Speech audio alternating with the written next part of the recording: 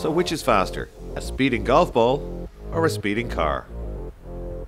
Here at Bridgestone Ireland, we don't just supply the tyres to the Mondello Park BMW Experience cars, we also support some of Ireland's top young golfing talent. So we went to Mondello Park to find out.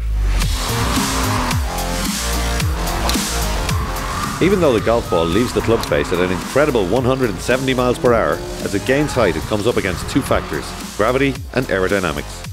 As the ball, which has taken the early lead, begins to slow and fall, the BMW M2 competition is using all of its 400 brake horsepower and is still accelerating hard towards the finish line.